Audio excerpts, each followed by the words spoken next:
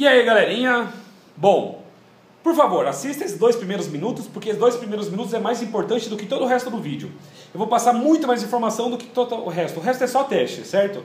Primeira coisa, é, a gente vai testar tanto em máquinas fracas para rodar no mínimo, quanto em máquinas fortes para rodar no máximo. Então, se você tem uma máquina fraca, você vai saber se o teu jogo vai rodar ou não. Se você tem uma máquina forte, você vai saber se ele vai rodar o jogo no talo ou não, ok? E assim, a gente vai discutir também se a placa de vídeo não abre, por que, que não abre, e qual programa é necessário você atualizar para que o jogo abra, certo? Então acho que é um vídeo que vai trazer muita informação. Ô, tá, vizinho. Bom, vamos às informações, não vou começar outro vídeo aí. Primeira coisa, o fabricante falou que para rodar no mínimo o jogo era necessário 4 núcleos de 2.6. 4 núcleos de 2.6, é verdade ou mentira? Mentira. Por quê? A gente rodou aqui com várias máquinas com é, processadores de dois, ponto, é, de dois núcleos, dual core, Atom X2 e rodou de boa, certo? Então, primeira mentira. Segunda mentira, o fabricante falou, vai precisar de 4 GB de memória para rodar no mínimo. Verdade ou mentira? Mentira também. Agora o aviãozinho, todo mundo participando do vídeo. Por que, que é mentira? 4 GB de memória RAM para rodar no mínimo. A gente testou em máquinas com 2 GB de memória RAM e rodou de boa no mínimo. Então se fala, já tem duas mentiras aí do fabricante. Bom, mentira, sacanagem, né? Chamar ó, os caras lá poderosos chamando de mentiroso. Mas vamos, ah, antes eu já vou falar quais placas não rodam, certo? Vamos começar pelos testes aí já dos 2 GB de memória. E o fato também de 2 GB, um processador de dois núcleos.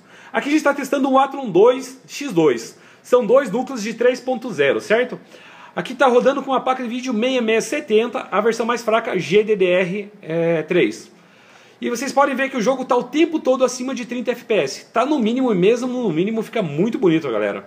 Eles falam, ah, mas você está numa parte limpa aí.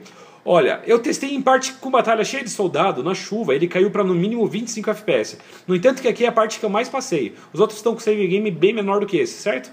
Então já dá para saber, com um processador de dois núcleos de 3.0 e com 2 GB de memória RAM, se você tiver uma plaquinha de vídeo razoável aí, igual essa 6670 de 2010. A 6670 de 2010 rodou o jogo aí de boa, beleza? Aqui está no mínimo. Então já entrou aí o primeiro. A... Outra, todo mundo participando do vídeo aí. A primeira coisa que o fabricante tinha falado. Eles falam, ah, então eu tenho um processador de dois lucros bom e tenho. Uh... aqui tem mais um, deixa eu ver. Aqui tem mais um dual corezinho. Uhul! Aqui tem mais um dual corezinho, certo? Aqui são dois, é um dual core E5800, dois núcleos de 3.0. Aqui a diferença é que está uma placa de vídeo mais forte.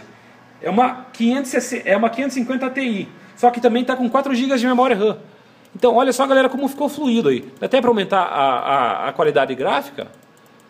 Aqui já está numa resolução mais alta, mas dá até para você aumentar a qualidade gráfica que o jogo vai rodar de boa. E você olha, são dois núcleos, certo? E 4 GB de memória RAM. Só que é uma plaquinha de vídeo um pouquinho mais forte, a 550 Ti.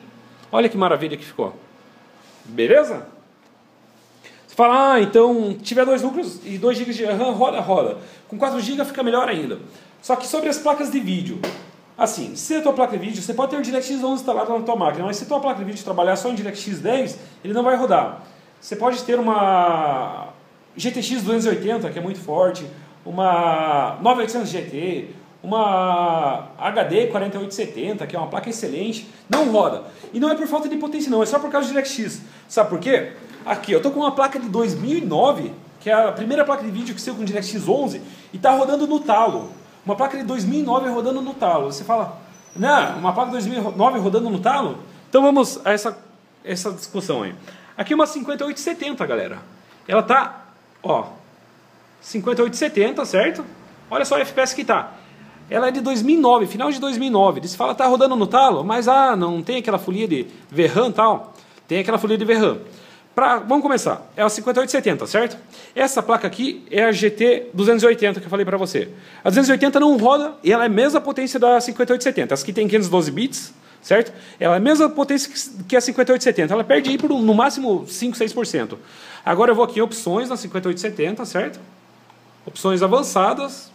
Você olha, eu vou vir aqui, vou colocar qualidade gráfica, ó, mínimo, baixo, médio, alto, muito alto e ultra. Eu coloquei no ultra. Você fala, ah, mas no ultra não vai rodar. Ele roda, só que tem uma coisa, a qualidade da textura aqui, que acontece? Para você rodar na qualidade, que eu já baixei o pack, o pack de textura lá em, em HD. Para você rodar ela nesse máximo aqui, o fabricante está dizendo que você precisa ter 6 GB de memória de vídeo. Seria a GDDR, que é o VRAM, certo? Mentira, com 4 GB de, de RAM você já roda. Eu já vou provar isso para vocês.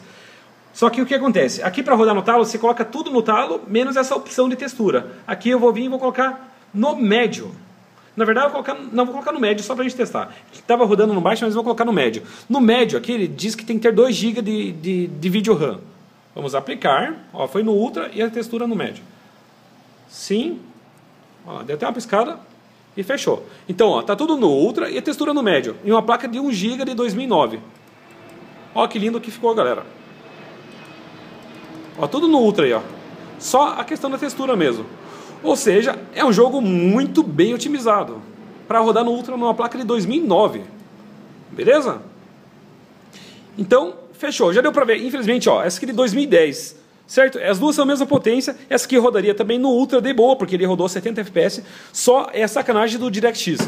Daí você fala, ah, mas tem aqueles é, sites tal que vão lá e disponibilizam um, um update lá para você rodar a placa que é igual essa aqui DirectX 10, ela for trabalhar em DirectX 11. Existe. Só que eu já provei em outro vídeo que não funciona, galera. Ele consegue abrir o jogo, mas para rodar é sem chance. O FPS vai ficar em 1, 2, 3 ali, não vai passar de 3 FPS. Vai ficar pausado e injogável. Então esses patches aí, sai, o cara que vai lá e faz um vídeo, ah, como rodar DirectX 10. Mentira, o cara faz aquilo lá só para ganhar visualização. Todo mundo positiva ele porque consegue abrir o menu do jogo. Só que a hora que o cara vai jogar, não consegue rodar. Já provei isso em outro vídeo. Beleza, então fala, ah, e os outros testes? Bom, vamos pular para mais uma plaquinha aqui rodando no Ultra também. Aqui eu estou com uma GTX 680, certo? Configurações avançadas. Eu vou colocar também tudo no Ultra. Alto, muito alto e Ultra.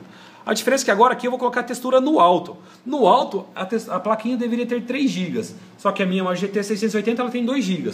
Então, em teoria, não vai rodar certo? Só que ela roda, galera.